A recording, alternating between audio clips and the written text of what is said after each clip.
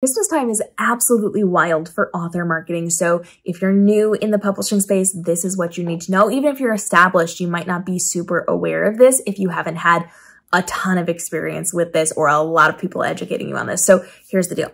When it comes to marketing at Christmas time, your sales will be different than usual and they may be all over the place. So there's a couple of things we need to keep in mind so that you can prepare properly, so that you're not discouraged, so that you can make the money that you can make during this time.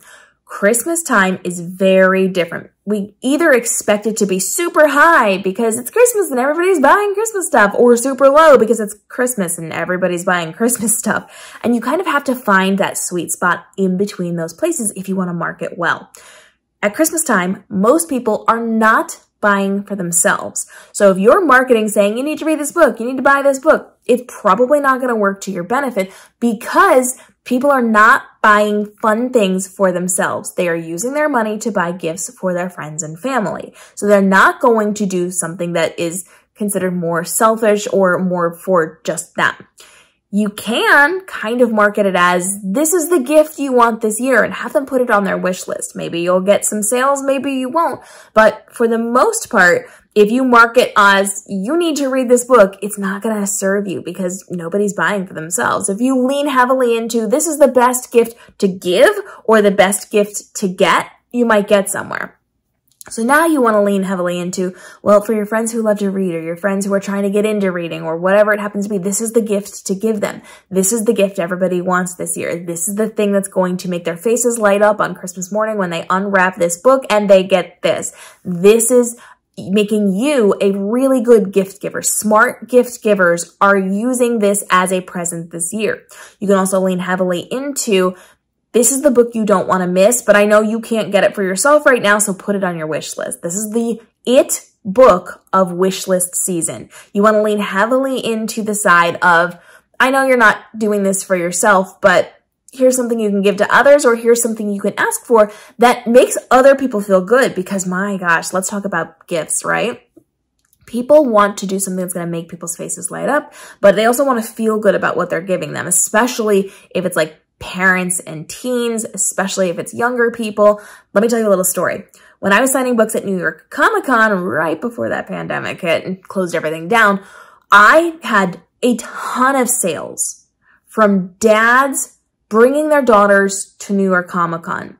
These parents brought their young teenagers, college age kids to New York Comic Con, which inherently feels more like a fun activity where we're going and we're doing like TV and movie things. It's not as educational.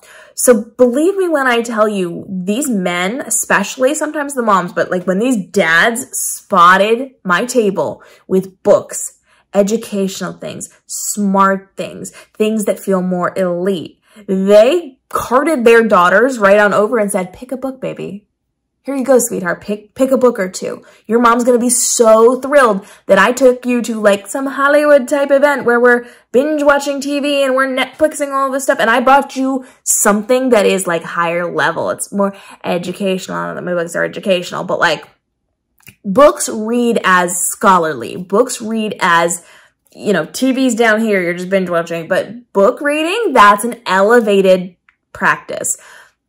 So when we can pitch our books as like the elite it wish list thing this season, that's going to work in our favor. So your book sales during the holidays are going to be all over the map because you're going to get some sales for like wish list stuff, but you're also going to see a major drop because the people who were typically buying your things are not because now they have to spend their money elsewhere and they have to wait to see what they're going to get for Christmas, right? But don't get discouraged because we're going to see it's, it's a roller coaster in November and December leading up to the holiday season. After holiday season, like we're talking December 26th, 27th, this is when you can leverage a lot of book sales because now people have that freedom. And not only that, they got money for Christmas that they can now spend. It's burning a hole in that pocket. And people got e-reader devices.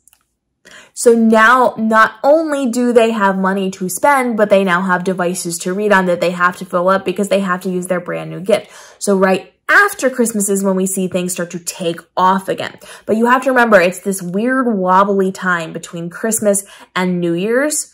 So there's a lot going on. This is an incredibly valuable time to market and to be in your community and to be talking up your stuff. A lot of authors aren't going to do anything because they're in holiday mode. They're chilling and they don't want to do the work. So now you have more opportunities to be seen, more reasons to be purchased. And it's just a really great time to like lean heavily into that marketing. So your sales in November and December will be all over the map. And it depends on how well you market, who you're marketing to.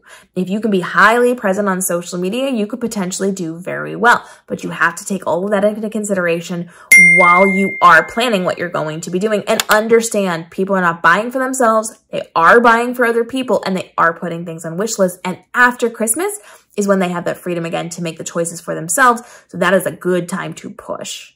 So drop your questions down below. Follow along for more. I'm here every single day helping you navigate the world of publishing from your writing to your publishing to your marketing as a multi-time best-selling author who's been in this game for many, many years and has worked in this industry for a long time. Before that, we can break down your questions and answers in the upcoming episodes and get ready because we're in holiday mode, which means not all of my videos will be holiday themed, but we're going to talk about holiday marketing. We're going to talk about holiday books. I am really excited.